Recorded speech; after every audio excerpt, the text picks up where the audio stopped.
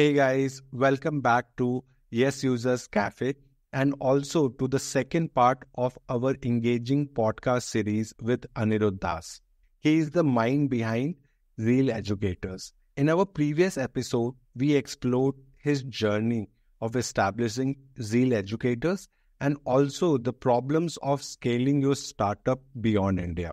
Today, we dive deeper into Anirudh's college life We'll also hear a couple of interesting stories from his first two startups and learn about how and why he started Das Consulting.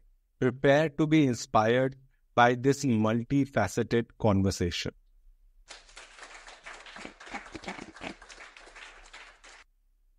So, Anirudh, welcome back to Yes Users podcast.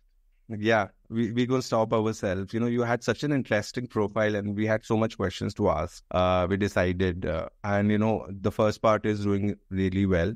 There have been great feedback. We are coming in. So a lot of people have put in some comments as to the things they wanted to know, and I'm gonna ask that uh, in this podcast. Right. So, uh, you know, one of the amazing things uh, in your profile or in your professional journey is that you started really young, right? So you started your entrepreneurship, I guess, in the college, in the school itself, right? Yes. So please, please, for our listeners, under please explain that journey. How was it? What problems did you face? So I started back when I was in grade eleven. Right. That was my first attempt start something. I was very keen into technology. I was very keen into softwares and computers and stuff. And I'm talking about the time where technology was not so easily available to everyone and was not so convenient as well. So I started a software solution company where we used to help people to resolve software issues. It was kind of that. And I started, I was alone. Then I partnered with few of my friends, but as we all were very young at that age. So starting anything, launching anything, we faced a lot of troubles. Basic troubles. We were not having any bank account of ours. We were not basically yeah. we were trying to but we could not establish ourselves as a legitimate entity at that time because of the age factor. In the eyes of the customers you were definitely legitimate entity but it was we could not establish it uh, in front yeah. of the public right. Okay. So uh, we were very young. We were not in the position to ask for capital itself from the parents because what are we going to say? And the first question what we were thrown up with was focus on your studies and exams Uh-huh. and with time, what happened is exams came into action, and slowly, slowly, we tried, we tried. We had a couple of clients. They showed trust in us. They had faith. We tried. We worked for a couple of months. Then eventually, it failed. Then once we completed the grade twelve, we started an e-commerce platform yeah. We're very keen into e-commerce so, so, so, about the software platform right? I know like you call it a failure but i wouldn't classify that because you know at that age even trying i would say was a success where like majority i would 99.9% are not doing anything right? Uh, at least in e-commerce. Other things definitely they are doing. Uh, at least in business right? Uh, in other aspects of their life they might be doing well right so my question was like, how did you guys started? Where did you put uh, like where did you guys register a domain? And uh, uh, where did you advertise? What was the initial conversations like? Like, please. So the most interesting part is the domain thing. Like, uh, right. people still have a dilemma about domains and websites that it's a very technical thing, very tough. But the reality is very different, and the reality is different from a very long time like when I started, there was some plug and play options and a little bit of coding was needed. And as we were uh, computer science students, so we were well versed with the coding part. So we tried to start a web page. We launched it. Then we started to advertise for it, like posting it on Facebook, posting it on Twitter, and posting it on Gmails because we had email of a lot of people. We started email marketing at that time. We thought that uh, okay, let's reach out to people. So let's push this uh, content through email to other people who are known to us. Then uh, there were some. Uh, what was the target audience in at least in your head at that time? Like who, who you thought would be your ideal? Customer? Those basically who had a computer in their place. They were having a computer. They were our audience because, let's say, I'm I'm working with Microsoft itself, but Windows computers always give trouble. Right. What we have faced so far. Yeah. So at that time, I was also a Windows user and I was also facing some issues. So I thought that everyone is facing that issue. Let's try to solve it. And the market was solving it, but we started to solve it for a lower price bracket. Okay. Which year was this? Which? Yes, it, it's, I'm talking about 2016, I guess. Okay. Yeah. Right. We, we tried, we hustled, but uh, it, it needed a lot of effort and time which we were not able to put into because we were also school students. So we had a lot of boundaries set with us. Yeah. Like uh, by 8 p.m you have to reach back to your home and you can't stay up late at night or you have to study you have to focus on exams. Your grades also matter everything. So uh, what happened is when this thing uh, came out into notice of other people people started to ask like questions like what is he doing? Why is he not studying? and all. These like started to accumulate. As you know, it, it happens. And yeah. it was very natural. I don't blame anything. It was very natural. Also, we were not a very strong team. We were a team of two, three friends only. After that, we moved into an e-commerce business when we completed our schooling. So in that, we are basically planning to pick up products which are specialities of India and supply it everywhere in the other marketplaces. And amazingly, now after a couple of years have passed, when I scroll Instagram or when I scroll social media, I can see those kind of businesses are flourishing. So it makes me really happy that whatever idea I had in mind is actually coming into action and it's actually worth something. So people are doing that. Even the software ones I'm talking about, there are a lot of businesses who are working on these particular criteria. And I, I personally keep a track of it. Like I see how they are doing it and what we could have done. It's, it's like a nostalgic thing for us because once I also tried to be that particular business, but eventually I failed there. There were multiple factors, but yeah, one thing which I want to mention is that the learning that is irreplaceable. When you start something and when you fail at it, you really learn a lot. Because yeah. once I started Zeal Educators, I had the experience of being a not successful in the model or doing wrong things with the past two businesses. So it really helped me. It really helped me understand that how you can sustain your business because the major problem was not idea. Idea is never the problem in a business. The problem is execution and sustaining that model. Right. So failing into two businesses was really a lesson which I needed. I must say it was a much needed lesson because you cannot learn it anywhere. No teacher can teach you, no school, no college will give you this thought. Yeah. You have to do it yourself. And I encourage young entrepreneurs that they must try. No matter if they fail, it doesn't matter. There's nothing to lose. Yeah. And I will tell you two failures and the third one that is Z. In all these three, I was having no funding, no backup, no industry support, no connections. I was having no connections. Like nobody was knowing me. I was only having a small circle. Although I, from the very beginning, I had a small circle. I never had a big circle. So the circle was very small.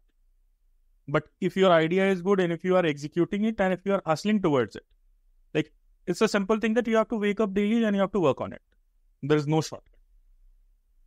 Makes sense. So tell us some interesting story from the your first two businesses. Yeah. So from the first business, what happened is I uh, got a client and the client's address was pretty distant from my place. Mm-hmm. I I took my parents' car because it was a very distant place. I preferred not to go by the two wheeler. I preferred my parents' car. And I, I used to drive from a very young age. When I was in grade seven or eight, I started driving. So I took the car from parents and I reached the place of the client. And when the client saw me coming in a car, he was like very shocked. Like somebody is coming to provide some uh, software service and is coming in a car. It was very shocked. And the client was very keen to know about me. And that was the first breakthrough and that particular client gave me around five six more clients. And that was like very interesting conversation. There it was a very old couple. He was uh, the at the age of my dadaji i guess yeah. He was that time around his 75 or 80s and and that old man was very inspiring. He like motivated me a lot because i was trying to hustle and trying to do something so he wasn't expecting me to come like a school boy is coming to give such kind of uh, software service. He wasn't expecting that. So that was a pretty amazing experience. With e-commerce, I would say we, we basically started a proper venture. We registered ourselves. We had a partnership business. We worked. We basically traveled around. we did a lot of hustle, but at the end, what happened was the team was not combined enough to showcase the products because that was basically we feel at pre-launch itself because it was not working out. Idea was correct. Idea was good. It was going fine. Everything was in place. We had the suppliers. We had the platform. There were four partners. So I was doing the tech part. One was doing the marketing part. One was doing the product outsourcing and all. But eventually it couldn't work out. I don't know why it didn't work out because right now I can see businesses working out with the same pattern. Mine didn't work out. So I took some lessons from that. And then I chose my path differently. I was like, let's go to college because parents are also concerned, what are you doing? Why are you wasting your time? Go to college, study, get a degree and all. So I moved ahead with that. So, so did you t- take a drop year after uh, graduating from class 12? Yeah, I guess. I was also preparing for a competitive exam. So, yeah. Right. So, in the eyes of parents, it was like, I'm preparing, but preparing for competitive exams, but you were like doing the business, right? So, it was a year or two. How how long was one, it? One year. One year. One year. So, yeah. So, you like, you know, you did what a lot of students do. So, and didn't end up wasting any time. So, you go to college, right? So, what course did you pursue there? I did my BTech in Banaras Hindu University. Oh, wow. Okay. So, you did your BTech. And now I hear that you are a CPA as well. Yes. Okay. So how did that, how did this transition happen? Then I did my MTech and then I applied okay. for a CPA course. There was a campaign going on in our college that if you want to excel into a different field, let's say finance itself, then you can apply. And the college was very supportive because Banaras University is a big name. So it was very supportive that time. So I applied there. I got a chance. They had a few questions and few tests uh, regarding this finance things. And I was very keen because I was already running my business. Zeal Educators was already live into action. So I was already doing the numbers on a regular basis. So I was well aware of how the numbers work. And also, I was global by that time. So I was dealing with global, like all these FIRA reports and all these global export phenomena and all. It was pretty comfortable for me to move in. Then I studied that course. That course really helped me a lot. It gave me a new insight about how money and business works. Okay. So that's really interesting, right? You know, I wanted to talk about your experience at BHU, right? So how was it? That's good. that's a lifetime experience. there's there's a very long story you're not sharing there. So tell me, so what happened? You land uh, like you know you are a bacha who has you know done uh, try to do startup एक साल drop भी ले लिया and then you land in BHU in a BTech right so what happened what was going in your head the first day I was always like a guy जिसको tradition was not a cup of yeah. tea जो चल रहा है I was not willing to follow that I was like yeah क्या करते हैं let's do something different and the crazy thing was I was alone in it most of the time I was alone. Because uh, I belong from Varanasi, it's a tier two, tier three city. So people are mostly following the tradition. That's not the problem with the people or the place, but that's the culture, how it goes. And what I was trying to do was considered too risky. And what I felt like I cannot go into that traditional path because I cannot do that. I was like very sure about it that ye abhi mere se. My mind is not ready for it your desire to be different, right? And I this is something I see in a lot of entrepreneurs, right? So you were born and brought up in Varanasi. Yes. Right. And you got a college in Banaras as well. How how how bad did you feel about that? Actually, firstly, when I, when I was preparing for my college, I wasn't expecting to be going to BHU itself because firstly, it was pretty difficult to get into that, and secondly, I I also wish to go out in the different city, live a different kind of life. But eventually, what happened is when I got selected and when I got a chance in BHU, the best thing was that if I'm standing in my apartment's corridor, I can see my college. That's how. Uh-huh. That, that's how uh, close you were staying. Yes. Right. So, in the hindsight, do you think it was a good thing or it was a bad thing? if you take my case where I have yeah. to do a lot of work apart from college studies, it was great because I just needed five minutes to go to my classroom. Yeah. So I used to wake up early, do all my work in the business needed, everything, every meeting, every planning, everything. I put it into place. Then just five minutes before I leave for class, once the class is done, nothing else. Just I'm directly rushing back to my home because my home was my office. Yeah. That was the timetable I followed. That was like I did masti with my friends and all, but I kept myself dedicated towards my work more. Yeah. And you were like at, at, at a point of time, they were not liking me very much because I was not a very social person at that time because I was having something else in my mind. Okay. Although I'm a very social person, I like to hang out with friends, I like to talk, everything. But at that time, I was building it. So it was asking for 24 7 inputs. Yeah. I whenever I get a chance, let's say there is a class gap that yeah, today you don't have a class, you have a four hour gap. I rushed back into my place. Yeah. So that's how it was. So I was like constantly rushing from home to college, college to home. That's it. Yeah. And that wasn't a big deal for you because you had like the, the discussion was fine. I had planned to ask so many stories about BHU hostel because I've heard a lot of rumors about it. Uh, I, I, was having a hostel room as well because that is having. Yeah, because it's a residential university, yeah. right? But obviously, you were not staying there, right? Uh, I, stayed, I, stayed, a couple of weeks. I stayed like it was a very uh, thing of a choice because my home was very close to it. So nobody yeah. was asking me why you are not staying in the hostel. But the hostel was mandatory, so I was having the hostel itself. And yes, we have stories in the hostel itself, and the stories. Okay. Uh, Tell me the, the, the funniest story that you can share on camera. With BHU, the thing is, the stories are not that stories which I can share. The like cross that's true with every college. that's like crosses the limits every time, and this, yeah. this is a like a young aggressive university, so a lot of things happen on a regular basis.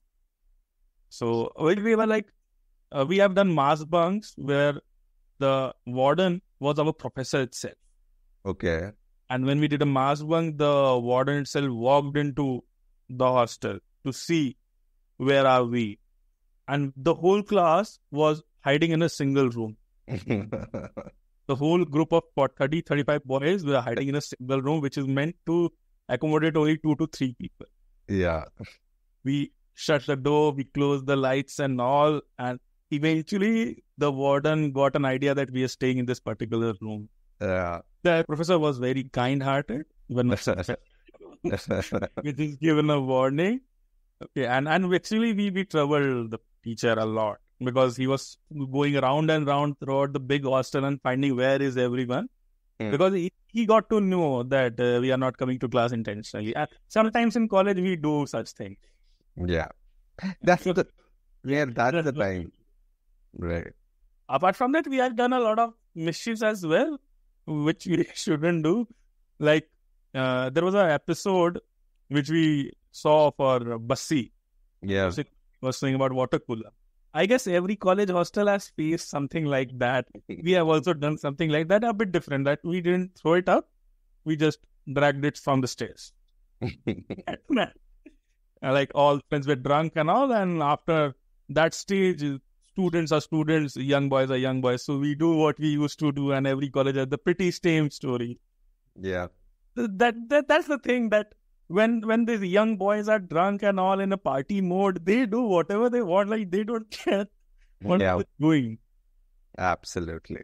That was it. Apart from that, now now on camera do you want to apologize to your teachers now that you know apologize to my teachers for giving them so much trouble from the very beginning, I was a troublemaker kid from the school right. time. I, I used to give troubles. Like it was like a khurafat karna was in me. Ki, sa to karte. Right. Never to hurt someone or to disrespect someone just for fun. Yeah. Victimless crimes. Yeah. so yeah. So Abhi, right now, are you staying close to BHU as well, or you are staying? Yes, my, my permanent home is close to BHU. Right. So how does that feel? Like every day you are passing from your alma mater, how does that feel? It feels pretty good.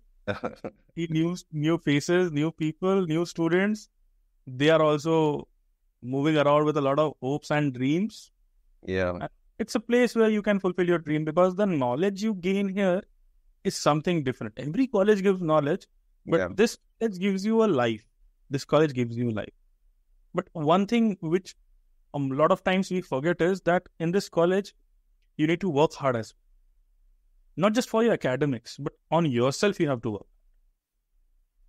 Okay. Like you have to work hard in a different way. You have to prepare your mind. If you are not preparing your mind, you will face trouble in the upcoming times. So what what I feel for a young generation that do the fun, have the life, but also train your mind because life is beyond academics and degrees because right now nobody is asking my degree.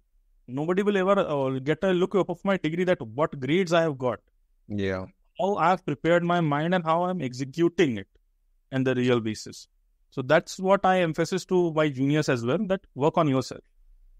Yeah. as much as we can because we don't have much time. Honestly speaking agar hum school college ke time enough shuru kare then we are late. There, are saying that we are never late but my perspective says that that's the best time क्योंकि तब ना ज़्यादा pressure नहीं होता है. अब yeah. we have pressure and responsibilities, but the time when I started, I was not having any kind of pressure responsibilities. Yeah. बहुत ज्यादा होगा तो क्या होगा एक पेपर में बैक आ जाएगी नहीं पढ़ पाएंगे तो that's it.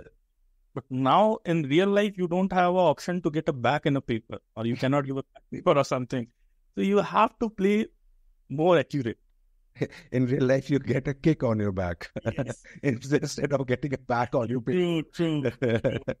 right. So you spend four years जो एकदम ऐसे चुटकी में निकल गए होंगे, right? Yeah. सो कम्स प्लेसमेंट सीजन ये बीएचयू का प्लेसमेंट का सीन क्या है ऑनेस्टली स्पीकिंग मैं बैठा ही नहीं था that is true I I figure that much but like in general what is the seen the scene is very diverse मैंने बताया ना if you are working on yourself तो जो जो भी प्लेसमेंट के लिए कंपनीज़ आती हैं they basically don't hire you for the degree you have they hire you for the person you are so आपने जितना एक्सप्लोर करा है ना based on that you get the placement and सिर्फ़ कैंपस प्लेसमेंट ही नहीं कैंपस के बाहर भी देर आर प्लेसमेंट्स अभी I would say the trend of placements is very jiggly it's not very stable these days पहले पहले के टाइम में भी it was the thing that जो भी थोड़ा आउट ऑफ़ द बॉक्स होता है जिसकी भी थिंकिंग आइडियोलॉजी ऐसी होती है जो कंपनी के साथ अलाइन कर सकती है। Hmm. वो तभी होती है when you are working on your like आपने कोर्स uh, पढ़ा हुआ है बट यू डोंट हैव हो सकता है right.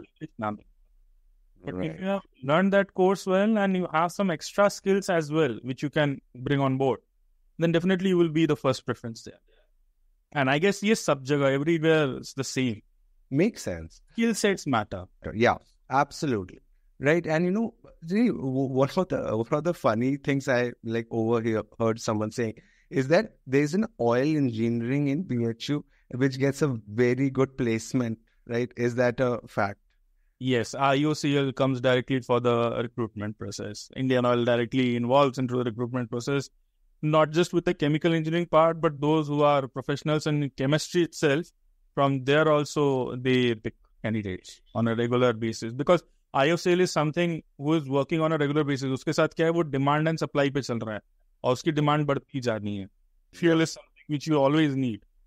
Right. And all those companies जो necessities पे चल रहे हैं, they always survive. Yeah. And another factor is alumni.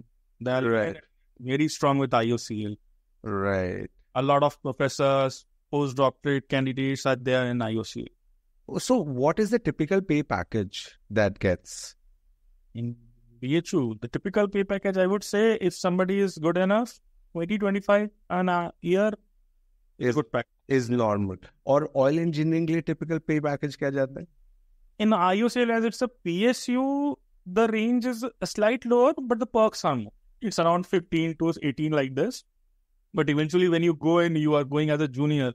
Once you get promoted and you learn and you gain experience, definitely the career is more stable in that perspective. Right. So I assume like big tech companies like Meta, Microsoft, do, do these come in? Then what what do they? Microsoft, Google, they do come in, but not always. And also, uh, a lot of students have got placement by uh, direct approach because they have built themselves in such a way that they are able to face the interview directly. They are not waiting for yeah. But once the placement is done, obviously it would be posted as the student from this uh, particular university got selected and got that. Right.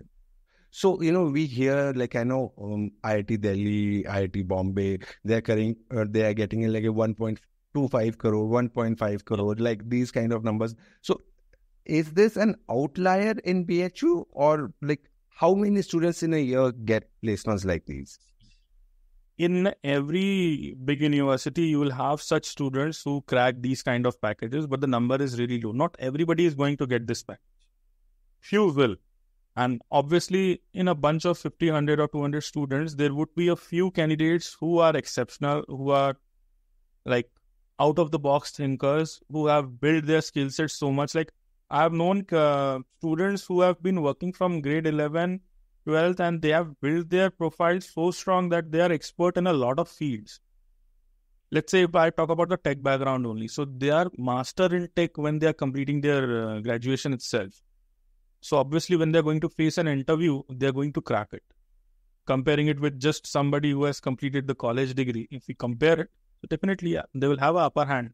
Yeah and, yeah, and you know what is misleading about uh, these kind of headlines because they they grab a lot of attention. Like you know, is somebody from IIT Delhi got two crore ka package, right? But what they don't understand that is it are they getting two crore in India or are they getting two crore in the US, right? Yeah. Yes, because that makes a lot of difference, right? Yeah. Because two crore, if they are getting two crore in the US, it it's like you know, uh, two hundred uh, somewhere around uh, a little above two hundred thousand dollars, right? So, which is not a not a big deal in the yeah, US. Average. Right. So, so that that's uh, so somebody like you know somebody got that placement. That's nice, but like as far as the quantum of pay is concerned, it's not a really big deal. I will give you the real insight about it. As I'm a CPA as well, I have clients who are working in the US and Microsoft and Google itself. I have a few clients who are working in Google. If we take their packages, because I'm their uh, certified accountant, so I know every number. I have seen every number. I have seen the W2s. W2s is a document which they get when they receive their yeah. payment. Yeah. I have the insights of the number. I won't disclose any particular number, but I will tell you that depends on where you are based out in US, the location where you are living, because every location has a different cost of living based out of that. Apart from that, a majority of that pay is in the form of ESOPs. In India itself, it is happening. Like a few of my known have a package of around 1, 1.2 annually, but a major chunk is of ESOPs. The company right. ESOPs. So ESOPs is not what you get cash in hand, but the Indian parent, what they think is that, yeah, one crore is a cash in hand. No, it's not that cash in hand. Yeah. That CTC, that is cost to company. And that is why I mentioned that financial literacy is also very important in our country, apart from just giving classical education. Because they don't get the concept of CTC if I talk about my parents, so they also don't have the idea of CTC. They don't. So if they see a number that yes, one crore and here, so they will see that yeah, that's a good number. But that's not the truth. Also in India, that kind of package is pretty difficult to digest because in hand, no company is giving like that. Yeah, there are few companies giving and few individuals who are deriving that kind of salary. But we have to look for it. Let's say there's a company who is in the US and giving a handsome package to somebody in India, in the Indian division. So the main reason is that the pay scale of India is pretty lower. If let's say the same company has to hire someone in the US, the company has to pay much more. Okay. And that is the misleading factor which we have. Firstly, that is the CTC, that is not the cash in hand you are getting. Apart from that, there is a big number of ESOPs, which, in my opinion, are pretty good for nothing if you have it what will you do? You cannot sell it. There is a lock in on that. It's not like normal Demat account shares that you can have it and you can sell it on the open market. You cannot. Right. There's a vesting period clause. People forget, right? And if you leave before a certain period, which is called cliff, right? Uh, you you get zero shares, right? Yeah. And this is something that a lot of people don't understand. And uh, when even when you talk about ESOP, like you know, getting an ESOP from Amazon is completely different from getting an ESOP from a you know a, a startup which has raised Series B. Even though that startup is doing really well, but they are completely two different ball games. we should do a podcast on that aspect itself. Yes. Right. But moving on, like, you know, you have been advocate of like intersecting finance and education. Yes. So what initiative and efforts are you doing in this specific area? So firstly, uh, when I'm uh, working with uh, Zeal educators in that, I'm emphasizing those teachers who are dealing with the uh, commerce division. I'm emphasizing that don't just uh, teach them bookish things. Compare it with the real life. Let's say in economics and in uh, accounts, everything is very bookish. And what I emphasize to my teachers is that compare it with the real scenario, what is going on right now. Like with economics, if you have a closer look, you will see how the historian period had an economic arrangement. Now, what we have, the currency trade system, the realities. Basically, the students are missing out from the real factors. Okay, so I emphasize on that mostly. And when I'm working with Das Consulting, in that I help my clients edu- uh, educate them first that how these things work because they come to me with a lot of problems and they know nothing about their uh, payment structure or the finances or how to manage. Although they are qualified individuals they have cracked big packages. They are in google amazon microsoft. I have clients from those companies as well. And they are like in uh, big uh, positions. They are drawing a good amount of salary every year. And still they are not educated in that perspective so it worries me a lot that if somebody who has cracked those, and these are all people who are from my nearby location. Yeah. From Allahabad, somebody is from Bangalore, somebody is from Kanpur, and all that, like UP. So, aspas ke log, I'm seeing that nearby people who have cracked so much in life, they have moved from this particular part of the city to a, another country and flourishing there. If they are not aware of it, how am I going to expect that these local people who are around me are aware of it? Because if you compare and do an analysis, obviously they have explored more who have settled in the US. Definitely they have explored a lot more than somebody who is settling in the same city. If they are not aware, how these people are going to be aware. So we have to educate them as well. And educating people in a mass number is a big challenge. Yeah. So there's a lot of traditional ideologies as well. So people are not easily, like, they're not ready to blend their minds. Yeah. That something could be happening like this itself. Uh, a bit with the Indian taxation itself, people are not completely aware of it.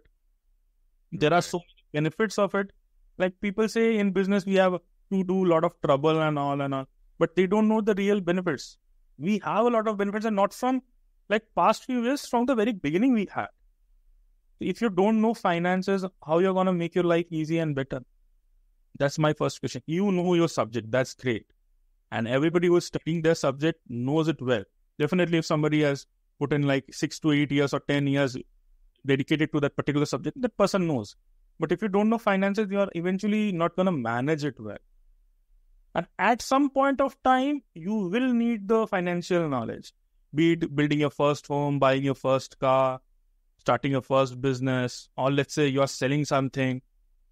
Like if you are willing to sell a property, then also you will have some financial issues understanding those concepts, taxes. Because, like, I will give an example recently a client of mine from us asked me that uh, i'm going to sell a parental property and they're asking me for a 20% of tds directly from the transaction and you can imagine a 20% is a big chunk now most of the people are not aware that we have a dual tax avoidance treaty going on with india and us with canada itself we have and with the other countries as well we have these the rules are different but we have that dual tax avoidance treaty so we have to use that into action. And I'll tell you one interesting thing that if you don't mention that there is a treaty, the departments are not going to give you any intimation that yes, there is a treaty, you don't have to pay taxes two times. They will take the taxes two times. That's their job.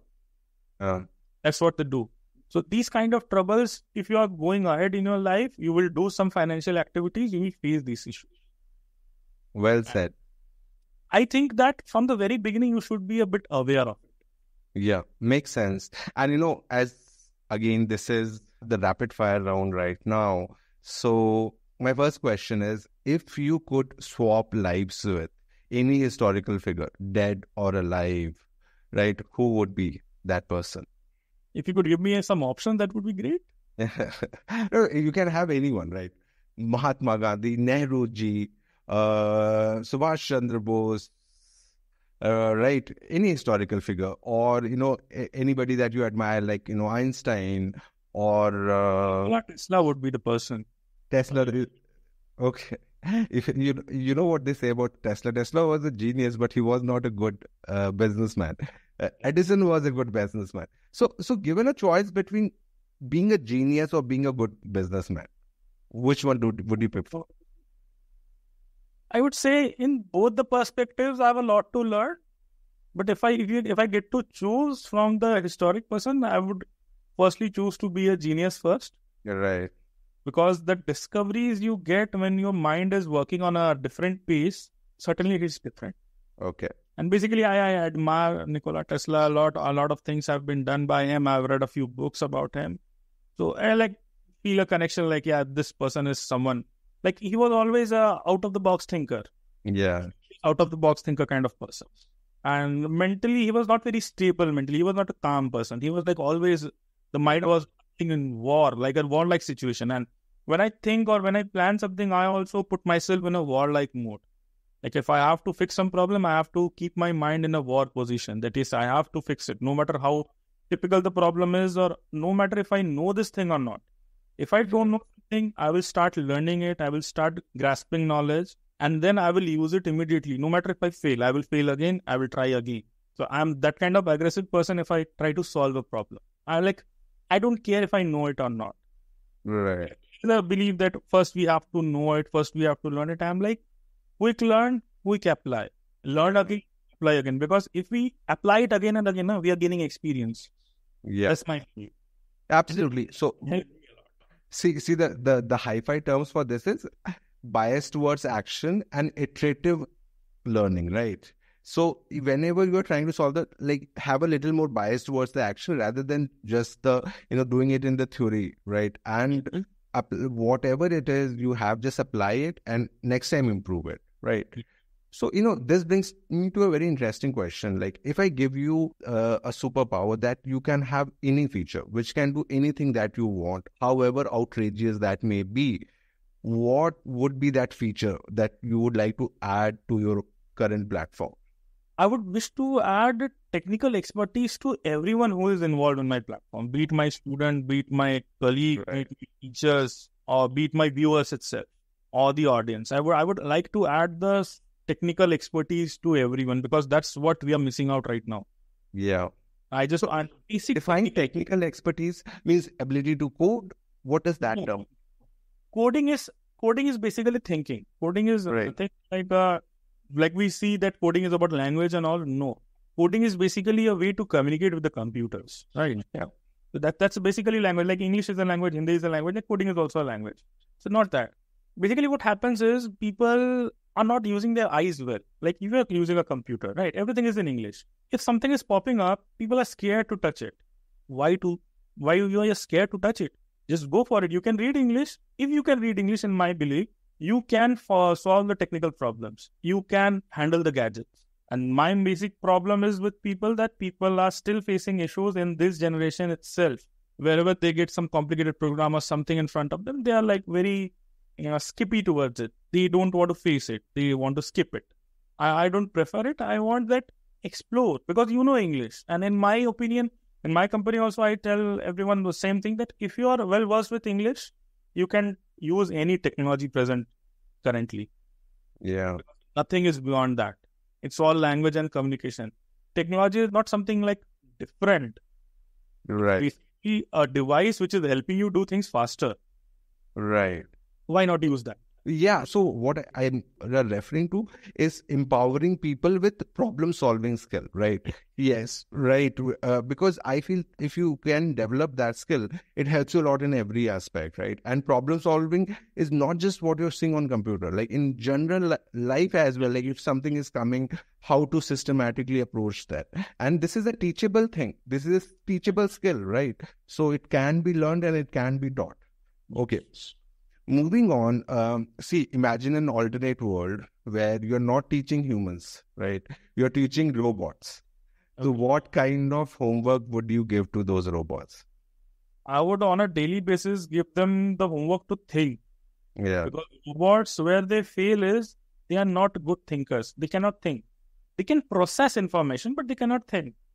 Once we cover that bridge of thinking and processing and we like fuse it we are going to have a different kind of world. And I guess a lot of people are doing it. AI has come into action and this has been happening. Like with ChatGPT itself, when I started using it, it was in a very primitive state. Now, if you talk about it, it's very smart. You just need yeah. to give the right prompts. Like if you are giving them some data to analyze and asking him to analyze it for you, the system is analyzing pretty well. But if you're not giving any particular prompt to it, it cannot process it. So there is no thought behind it. The process is correct, but there is no thought. So to robots, if I can, I would just give them a homework to think because they can think. These devices can think. I believe they can. Not today, but definitely someday they will. Yeah. Okay. Last rapid fire question. If you could have any celebrity in the world to endorse Zeal educators, who would be that person and why? Tom Cruise, Tony Stark, Tony Stark, right. Robert. Yeah. Why? Because they are my childhood favorites. uh, I yeah. Tom Cruise for the guts he has in his movies. We have seen and we have seen in the news itself these actions were done by him on his own. And if we compare his age right now, he's like around 60, I guess. Right? Tom Cruise is around 60, if I'm not wrong. And still is into such actions and he has so much of energy. I would like him to endorse. Wow. For, for sure. great, great answer there. So a lot of people might not know this. Like, you know, you have been doing one thing really well, which is sitting here in India and selling globally, right? This is something we talked about in the last podcast as well. So as we are running out of time, give me a very short and crisp answer. Uh, what advice would you give to an entrepreneur who is also planning to do that, building in India and selling to the world? Okay. So, first of all, uh, understand the global market. What is the need there?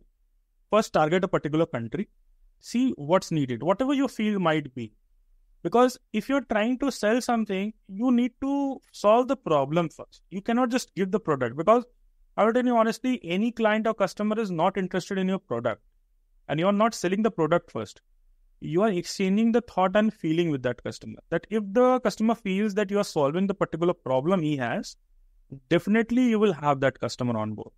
So focus on what problem they are facing in their particular field, whatever field you choose, be it apparel, be it product, be it tech, be it services, anything. So first do a market research and not just do complete research only that five years you are spending your time on research, but also apply, connect with people, try to connect with people. And today connecting with people, we have a lot of social, so much social media is there. Reach out to people, talk to them. First, and only thing which I would suggest young entrepreneurs who are planning to start is work on your communication and work on listening. Listen to your customers, listen to their problems, note it down. Have a diary, note the problems they have, and align your solution with those problems and give them a way out because customers basically need help. They don't need a product firstly, they need help, yeah. they need solutions. So focus on that. Note down and figure it out. Do it multiple times, you will crack it. Wow, that's a great advice there. And you know, because uh, you are running Zeal Educators and Das Consulting both, I'll put in a link to both of these ventures in the description. So if any listener is interested, they can go and visit. My question is for a first time entrepreneur, which one would be a better choice? A B2B business like Das Consulting or a B2C business like Zeal Educators? It's Start with B2C, then move to B2B. Because when you're talking about a B2B business, they have a good number of competitors working there. B2C, in B2C, I can say in most of the fields, the competition is not that high. In some fields, there are, but there you have a chance to go for a small scale, fail for a small scale, and try again.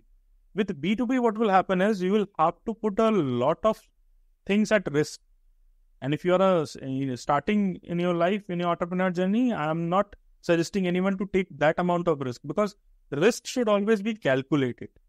And in B2B, if you are not backed up well, you might take an uncalculated risk. So don't do that. If you're planning to B2B, start with B2C. If see that your product is a good fit in the market or not. If it is, then reach out to B2B because you will have a viable uh, baseline to talk with the B2B that if you're communicating with a business, you will have a baseline that yes, I have this particular amount of expertise which I can bring on board and help your business as well. Makes sense. B2Bs are very specific. Yeah. So, Anirudh, thanks a lot for coming again on the podcast and sharing your story. Trust me, it was really uh, entertaining, inspiring, all at the same time. Thanks a lot. Thank you. Thank you. It was great having you. And that concludes our captivating conversation with Anirudh. We have explored the depth and breadth of Manzil educators. We hope you have also enjoyed this two part series as much as we have. Don't forget to follow our podcast for more insightful discussions with leaders and innovators shaping the world. Thank you for tuning in, and until the next time, keep learning and keep saying yes to your user's voice.